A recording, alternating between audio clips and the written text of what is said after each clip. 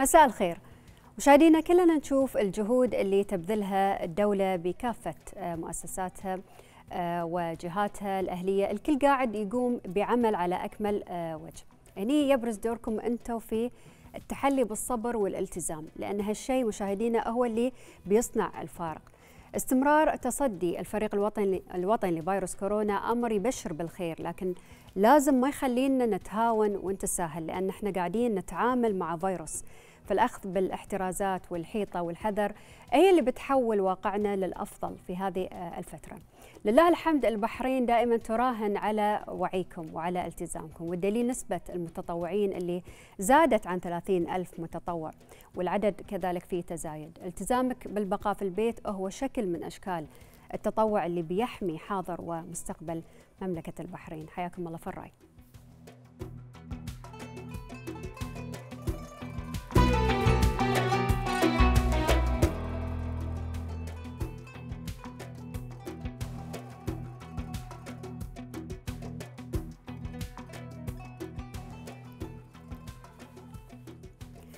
مشاهدينا الجهود اللي يعني تبذل من مختلف الجهات جبارات في مختلف المجالات ومن أهمها مجالات التطوع وجهود جمعية البحرين للعمل التطوعي كبير ومتنوع. معي في الاستوديو الأستاذ عبد العزيز السندي رئيس جمعية البحرين للعمل التطوعي. مساء الخير أستاذ. النور أستاذ أهلا وسهلا. حياك الله أهلا وسهلا فيك. يعني دوركم يعني مشكور طبعا في الآونة الأخيرة. وتزامن كذلك مع يعني كل مجهود أبناء البلد بمختلف طبعا القطاعات. يعني قدمتوا عدد كبير طبعا من الأدوار. قدمتوا عدد من المبادرات. خلينا نتكلم بشكل تفصيلي عنها. طبعا في البداية نحب أن نتقدم جزيل الشكر والامتنان لقيادتنا الرشيدة ولسمو الأمير سلمان بن حمد رئيس الفريق نعم. المشرف فريق البحرين وكل الجهود والسواعد التي في الصف في الصفوف الأولى العاملة في محاولة اللي هو القضاء على انتشار هذه المرض. طبعا جهود الجمعيات التطوعية اولا من باب الواجب الوطني. نعم. واجب كل إنسان يعيش على هذه الأرض الطيبة، صحيح. على هذه البلاد المباركة. نعم.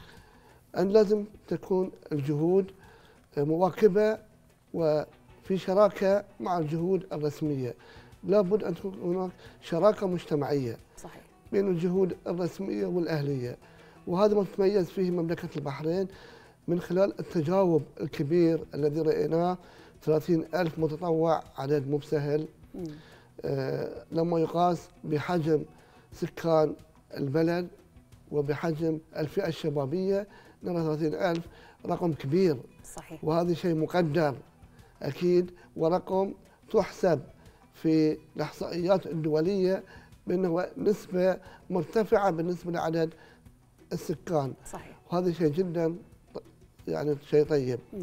جمعية البحرين للعمل التطوعي بدأت منذ بداية الأزمة ومنذ إعلان فريق البحرين واللجنة التنسيقية التي هبت من البداية وهذا يحسب لمملكة البحرين بأنها بدأت مبكرا صحيح. وهذا الأمر اللي جعل نسبة التعافي في مملكة البحرين الثانية على مستوى الدول نعم. هناك وعي وإدارة أزمة حكيمة من قيادة حكيمة من فريق متميز صحيح. وهذه جعل الحمد لله البحرين في مصاف الدول المتقدمة والأولى اللي واكبت هذه الأزمة. ولله والحمد لله راح نعبرها بسلام. يا رب. دام هناك جهود هناك وعي كبير من المواطنين صحيح. هناك جهود كبيرة مبذولة من الحكومة. نعم. فعندما تجتمع هذه الجهود وهذا الوعي إن شاء الله بفضل الله راح نعبر الأزمة. بإذن الواحد الأحد.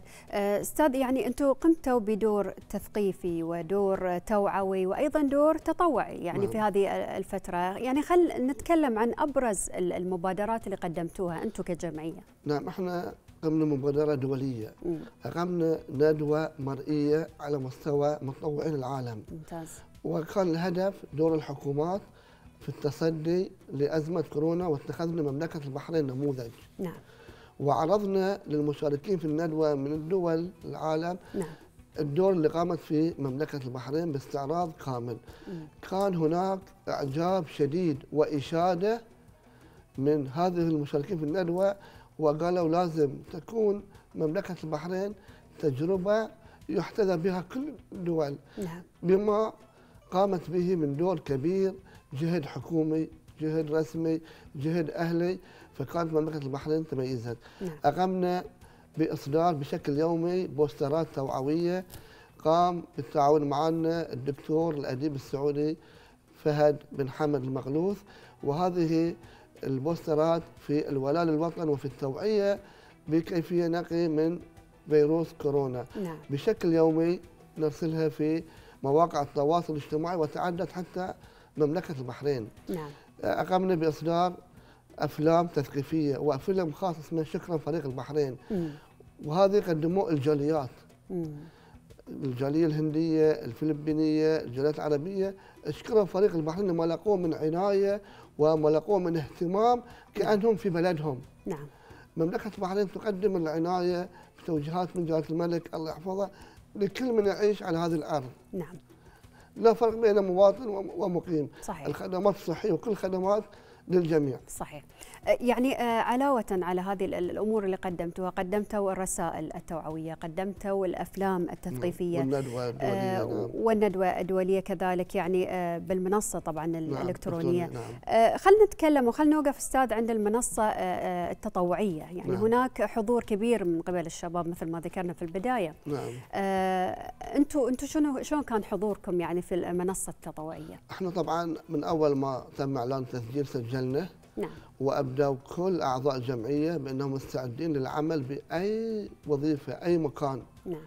حتى لو 24 ساعة. وشجعنا أيضا الجمهور أرسلنا حتى الرابط على مواقع التوا- التواصل الاجتماعي إنهم يسجلون. مم. طبعا إحنا نفتخر بأن نكون من أوائل المسجلين. وعندنا شباب الآن في مواقع العمل التطوعي في الجهات الرسمية. لأن إحنا دائما نتقيد بالأمور الرسمية. ممتاز. طيب شنو هي ال- الاسهامات اللي قدموها الشباب؟ طبعا أول شيء في البداية قام مجموعة من المتطوعين بتعقيم دور العباده نعم. ثم توزيع الكمامات وأدوات الوقاية على العمال الوافدين وعلى المواطنين. نعم.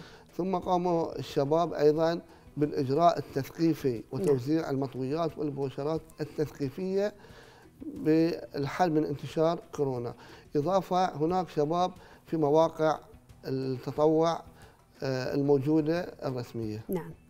آه، بحسب يعني آه، اللي عارفه أن بكرة بيصادف الذكرى الثامنة طبعا لتأسيس الجمعية. يعني آه، خلينا نتكلم عن نقول مجمل الإنجازات الوطنية اللي قمتوا بتقديمها عمرها ثمان سنوات ما شاء الله.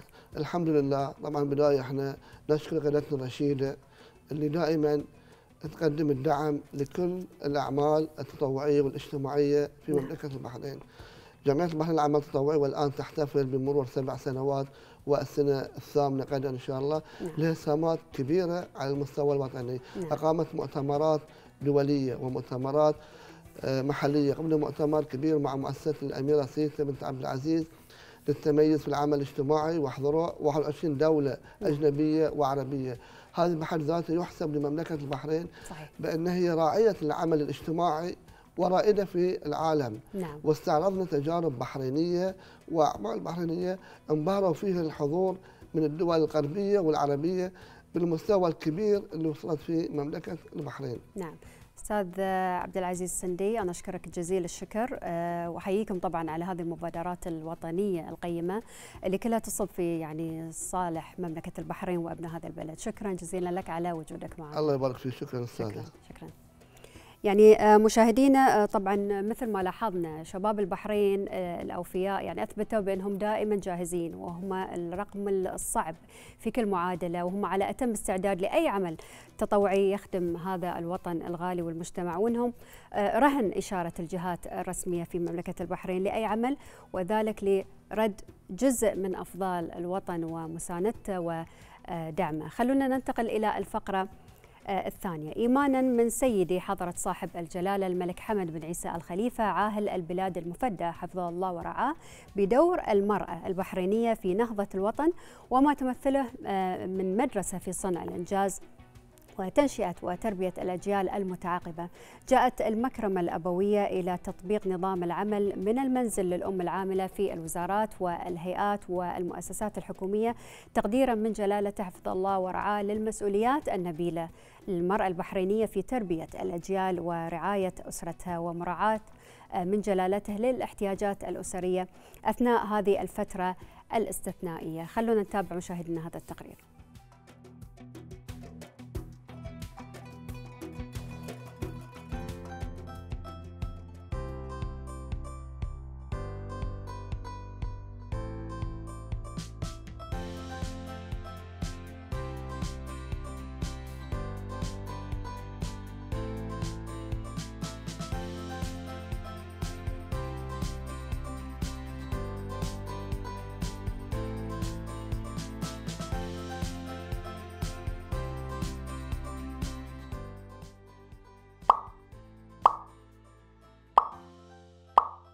كانت خطوة جدا آه، حلوة إنه يعني الواحد يسوي شغلة من البيت آه، منها اللي هو إن الشغل ما يتعطل إن إحنا قاعدين نباشر شغلنا نتابع في شغلنا وفي نفس الوقت إحنا نكون مطمنين على صحتنا على صحة الأطفال صحة الناس الكبار اللي قاعدين وياهم في البيت ونكون ملتزمين بالحذر طبعا آه، بالنسبة إلى تنظيم الوقت آه، الوقت قاعد آه، يعني تقريبا يكون صعب تنظيمه ويا إذا كانت وحدة قاعدة في البيت وياها أطفال أو وياها عندها مسؤوليات ثانية في البيت.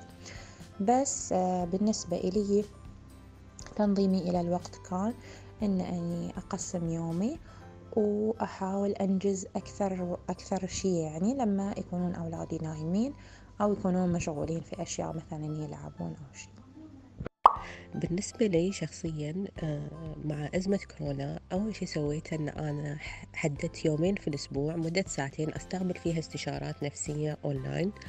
وبديت أراجع آه، بعض الكتب آه، اللي متخصصة في مجال شغلي في مجال علم النفس.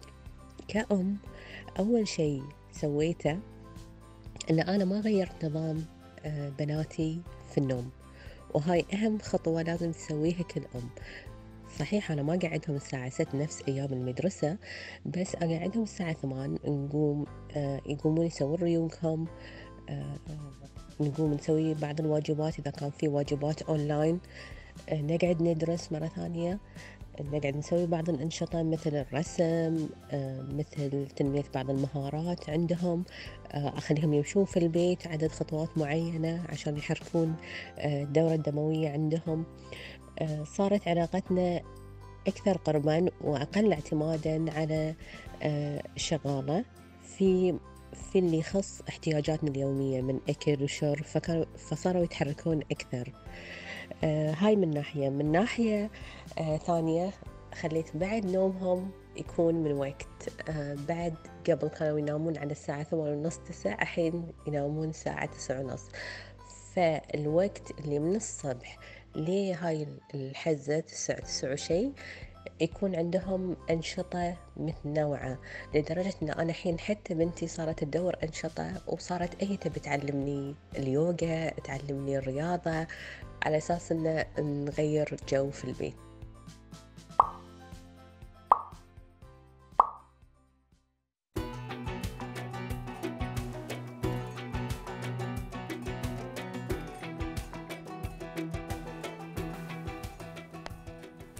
مشاهدينا للحديث عن أثر مكرمة جلالة الملك واللي تنص على عمل الأم العاملة في المنزل معاي عبر الهاتف الأستاذة فهيمة درويش رئيس جمعية المرأة البحرينية. مساء الخير أستاذة. مساء النور أختي امسيك بالخير أختي هيا. أهلا وسهلا فيك حياك الله. وأشكر تلفزيون البحرين على ومقدمة البرنامج القديرة والقائمين على أعداد لإتاحة الفرصة لي بالتحدث في هذا الموضوع. الله يعز شانك يا أستاذة. أستاذة شلون يعني شفتي اليوم؟ يعني هذه المكرمة الأبوية الطيبة في إعطاء المرأة البحرينية العاملة آه، والأم الأولوية في الجلوس في المنزل والعمل منه. يعني هو هذه أجده هو كان قرار يعني سامي جاء في توقيت طائب ومستجد. ينطلق من يعني رؤية حكيمة وقاية إنسانية رفيعة آه، لتؤكد المكانة التي تحظى بها نعم. آه، المرأة البحرينية صحيح وما تقوم به من مسؤوليات وواجبات وما حققته من إنجازات متميزة في على جميع الاصعده. نعم ويعني طبعا هي بعد تقوم بالنهضه يعني مشهود لها آه، دورها في نهضة الوطن. مم.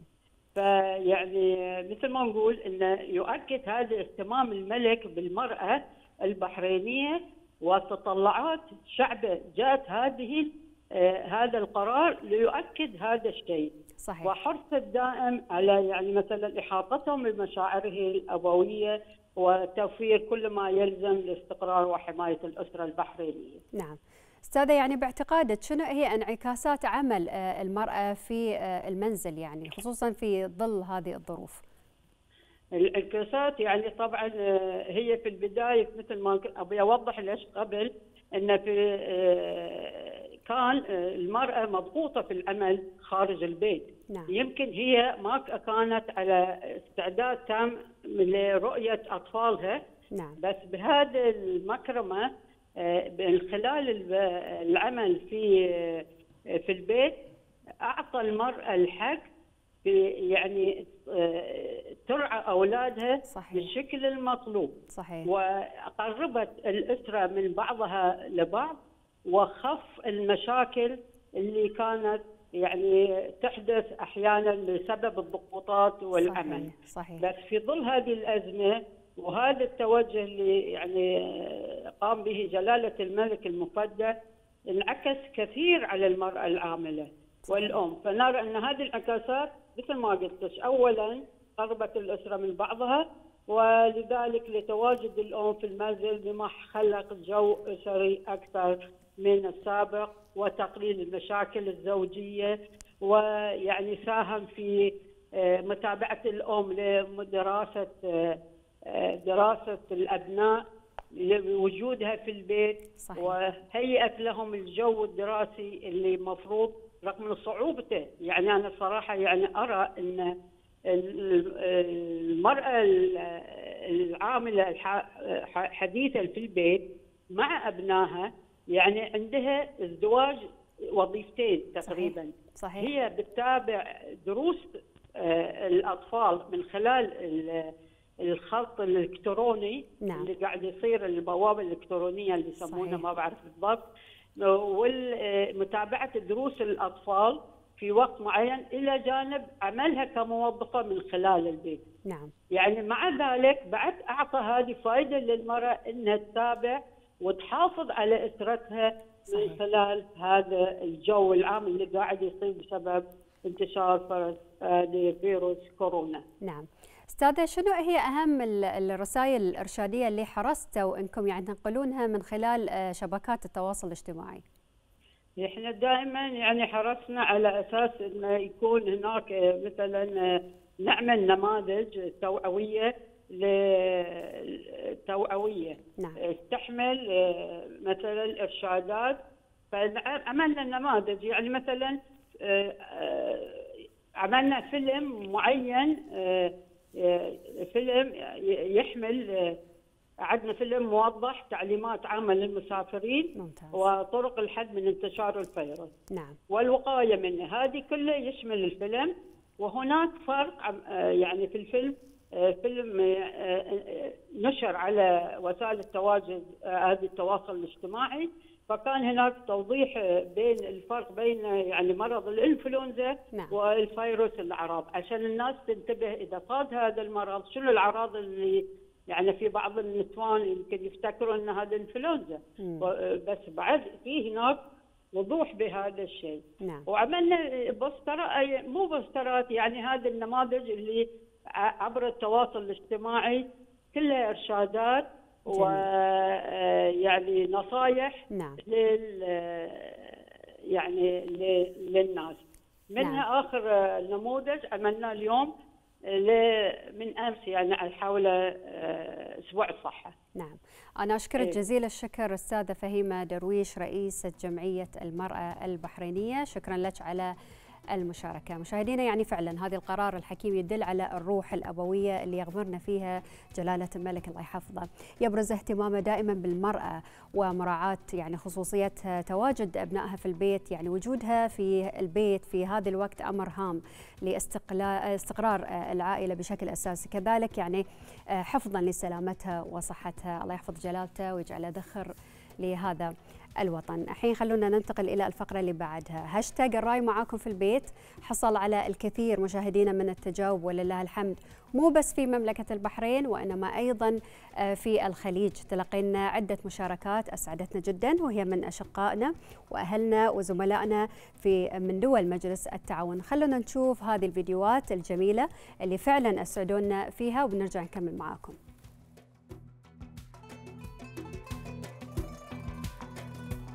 كيف نستغل وقتنا؟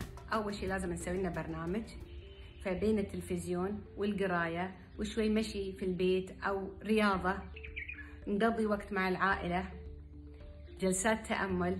أنا عارفة أن هذا الشيء مثالي تفكرونه بس صراحة ما لنا خيار إلا أن إحنا نعيش بأفضل حال ون ونراعي شو ناكل عشان ما ما يزيد وزننا. فأتمنى أنكم أنتم تهتمون في نفسكم وفي صحتكم وخلوكم في البيت. أنا من الكويت وحبيت أشارك في هاشتاج الرأي معاكم في البيت. إلى كل إخواني وعزوتي في مملكة البحرين الشقيقة. إذا كنت تبي تحمي نفسك وتحمي أسرتك اقعد بالبيت. إذا كنت فعلا تبي تحمي البحرين ضروري إنك تقعد بالبيت. أخوكم محمد الوسمي مقدم برنامج ليالي الكويت. يعطيكم العافية. جهود مملكة البحرين للحد من انتشار فيروس كورونا جهود تشكر عليها من أكبر مسؤول إلى أصغر مسؤول. وهالشيء ليش؟ للمحافظة على مواطنيها ومقيمينها والمطلوب منك أنت كرب أسرة أنك تقدر هذه الجهود وتلتزم بالتعليمات والتوجيهات اللي تطلع من الجهات الصحية للمحافظة عليك وعلى أسرتك. اقعد في البيت علشان اسرتك الرأي معاكم خليك في البيت. فرح شمالي السلام عليكم. وياكم أخوكم محمد المهيري. آه طبعا أنا أشيد بهاشتاج آه الرأي معاكم في البيت. آه طبعا كنا نناشد الناس انهم يظلون في البيت. مثل ما يقولون يعني الوقاية خير من العلاج.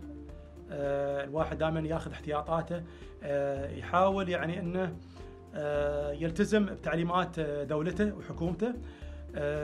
في البيت نقدر نسوي أشياء وايد. ممكن الواحد يقول أنا أمل في البيت. لا تقدر تسوي أشياء وايد. ممكن تسوي رياضة في البيت. ممكن تسوي تمارين متنوعة. ممكن تقرأ لك أي كتاب أي قصة. ممكن تشوف أي برنامج في التلفزيون. عندك كتاب الله. ما في أحسن من كتاب الله. اقرأ قرآن. أذكر ربك. استفيد من الوقت. صدقني بتحصل أشياء وايد أنت كنت غافل عنها ممكن تسويها في بيتك. وكل هذا من أجل صحة صحة الجميع. وفي النهاية نحن نقولكم خلكم في بيتكم.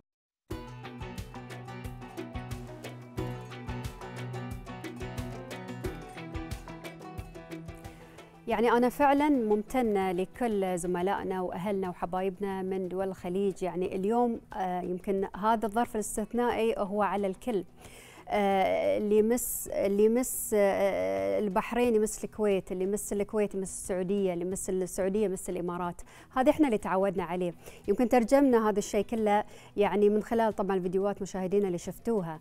أنا أشكر كل من يعني المستشارة الاجتماعية الإماراتية الأستاذة هالة كاظم وأيضا الإعلاميين من الكويت الأستاذ محمد الوسمي والإعلامي الأستاذ مفرح الشمري والإعلامي الإماراتي كذلك محمد المهيري. على كل هذه الكلمات الجميلة وحرصهم على أبناء وشعوب الخليج كلنا في مركب واحد والله يحفظ الجميع يا رب.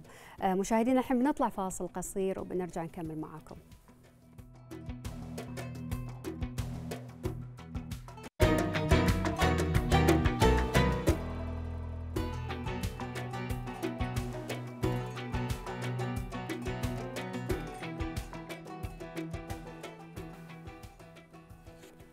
حياكم الله من جديد مشاهدينا. إحنا على مدى يومين طبعا عرضنا لكم مجموعة من أصحاب آه، المشاريع الإلكترونية آه، اللي قدموها طبعا آه، شباب منصات هامة ومفيدة يعني في هذه الفترة.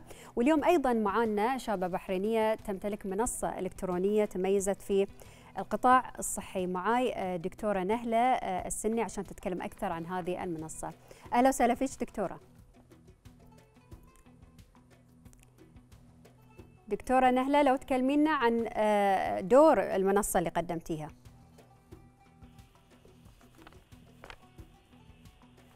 مساء الخير أختي هي آه، معك دكتورة نهلة السني شريك مؤسس في تطبيق دوكوير. آه، تطبيق دوكوير هو منصة إلكترونية تسمح للتواصل بين المستخدمين والأطباء واستشارتهم. حاليا إحنا موفرين موقع إلكتروني يعتبر دليل شامل عن الأطباء والعيادات ومعلومات عنهم. وإن شاء الله خلال الشهر القادم راح يكون متوفر عندنا تطبيق دوكوير اللي يسمح آه، للاستشارات بين المستخدمين والأطباء عن بعد. نعم، شلون كان تجاوب الناس مع المنصة دكتورة؟ آه، طبعا نقدر نلاحظ حاليا أن قيادتنا الرشيدة وفريق البحرين قاعد يعمل على جمع الناس داخل بيوتها وإن هم يكونون متواجدين داخل المنازل لحمايتهم من وباء كورونا. فواحدة من القرارات اللي آه، اتخذت في الحسبان إن نوقف أي زيارة للعيادات وللمستشفيات إلا لحالات الضرورة القصوى. ففي حالات الاستشارة نقدر نستخدم هذا التطبيق آه، ونستخدم من هذه المنصة آه، حلقة وصل بين الأطباء والمستخدمين، إذا كان عندكم أي استشارة تقدرون أنتم تدخلون على دوكبت وتستشيرون الطبيب وفي نفس الوقت آه، راح يكون عندكم آه، علاجكم من جهة موثوقة عشان بعد في نفس الوقت نبتعد عن الإشاعات اللي موجودة. نعم. كل الشكر لك دكتورة نهلة إحنا أكيد يعني فخورين فيك وفخورين في كل شباب وشابات البحرين اللي بذلوا مجهود أكيد وخدموا الناس في هذه الفترة تحديدا ونتوجه بالشكر أكيد لوزارة الصناعة والتجارة والسياحة اللي قدمت الكثير لأصحاب المشاريع الصغيرة والمتوسطة. مشاهدينا الحديث أكثر عن الجهود. هذه معاي على الهاتف الأستاذ شيخ الفاضل مدير إدارة التنمية أو تنمية المؤسسات الصغيرة والمتوسطة بالوزارة. مساء الخير أستاذة. يمسيك ربي بالخير أختي هيا ومثل بالخير على الجميع المشاهدين. أهلا وسهلا فيك حياك الله. في البداية أستاذة إذا تكلمينا عن يعني أهمية هذه المنصات أو المنصات الإلكترونية تحديدا في هذه الفترة الاستثنائية. إن شاء الله طبعا مع أزمة الكوفيد 19 اللي أسأل الله السلامة فيها للبحرين وأهلها أزمة كان لها أثر واضح على الجميع لكن لكل أزمة هناك جانب إيجابي آه والإيجابي بالقطاع التجاري كان ازدهار التجارة الإلكترونية وبعض المنصات اللي تم تاسيسها من قبل رواد أعمال بحرينيين شباب استفادوا من التسهيلات الموجودة بالقطاع التجاري وتمكنوا انهم يأسسون منصات تنافس في جودتها المنصات العالمية وإحنا طبعا نطمح لهم بالتطوير والتحسين المستمر. نعم. آه لما إحنا نتكلم عن المنصات الإلكترونية، المنصات الإلكترونية صار لها دور جدا هام في تحديد ملامح التجارة القادمة وسياسات التسويق والتصدير. وإحنا نعتبرها أداة آه ومحرك أساسي بالتطوير والابتكار. أستاذة لو تتكلمين لنا أيضا يعني عن دوركم في آه، دعم هذه المنصات اللي قاعدين نشوفها يعني يمكن كل منصة لها جانب معين ولها فكرة وابتكار محدد في مجال معين، أنتم دوركم في دعم هذه المنصات شلون بيكون؟ آه، طبعا المنصات هذه إحنا لما نتكلم عنها ما بتكون بس القطاع التجاري هي متعدده المجالات ممكن تكون في الطبية أو التعليمية والخدمية والابداعات ما راح تتوقف. إحنا كوزارة الصناعة والتجارة والسياحة عندنا طبعا خلينا نقول اهتمام كبير بقطاع المؤسسات الصغيرة والمتوسطة اللي هم يعتبرون يشكلون جزء كبير من الاقتصاد البحريني. نعم. إحنا من ضمن الخطة اللي آه، نركز فيها على تنمية المؤسسات الصغيرة والمتوسطة عندنا خمسة أهداف استراتيجية اللي طبعا أي مؤسسة ناشئة أو صغيرة راح تحتاجها بحيث ان هي على أساس تستدين. آه، ومنها الحصول على التمويل والسيولة والوصول إلى الأسواق تبسيط بيئة الأعمال وتعزيز وتنمية المهارة وتشجيع الابتكار. نعم. وعندنا حاليا عدة مبادرات نشتغل عليها بهاي الخصوص والمبادرات مستمرة بالرغم من التحدي الموجود حاليا لكن بإذن الله إحنا نسأل الله العظيم إنها هي أزمة وتعدي بإذن الله لكن في تطور كبير بإذن الله بيصير في الخطوات القادمة. يا رب. قبل ما نختم أستاذة شنو هي الرسالة اللي تحبين يعني أن توصلينها لأصحاب المشاريع؟ هي الرسالة شوي بتكون صعبة إني أختار كلماتها في هاي الظروف الاستثنائية اللي تمر فيها المؤسسات الصغيرة مثل ما قلت هي تمثل جزء كبير من الاقتصاد البحريني نعم لكن أنا فخورة جدا أختي هيا بالحزمة الاقتصادية اللي أطلقتها الحكومة الموقرة لأنها تعتبر من أقوى الحزم إذا إحنا بنقارنها بالدول الكبرى والمتقدمة آه، لكن المؤسسات في في ظل هالوقت لها دور ودورها يعني يكون في مراجعة سياساتها، نعم. مراجعة طريقة التسويق وإدخال التكنولوجيا في معاملتها وبالذات آه، التسويق الإلكتروني. والحرص على استمراريتها، الوضع فيه تحدي لكن بعون الله هي أزمة وتعدي. إن شاء الله ونسأل الله التوفيق والتيسير للجميع. اللهم آمين. آه، كل الشكر لك استاذه شيخ الفاضل مدير إدارة تنمية المؤسسات الصغيرة والمتوسطة بوزارة الصناعة والتجارة والسياحة. مشاهدينا يعني كل شيء صار في حياتنا إلكتروني. آه، أفكارنا صارت إلكترونية. آه، مجالاتنا صارت إلكترونية. نعيش حياتنا بشكل إلكتروني. خصوصا في هذا الوقت صار آه، هذا الجانب مهم إنه يعني يثري ويفيد الناس آه، في هذه الفترة. طلباتنا صارت يعني اونلاين آه، لما نشتري حاجاتنا الغذائية اونلاين آه، هي حاجة ولكن ولله الحمد مثل ما ذكرنا شبابنا كانوا موجودين وحاضرين آه، وفي أسرع وقت يعني ممكن لبوا طلبات الناس آه، جميعا. آه، وأسأل الله إن شاء الله إنه آه، يحفظكم كلكم وإن شاء الله هي أزمة. آه، نتعداها بسلامة يا رب. وصلنا معكم لختام حلقة اليوم. في أمان الله.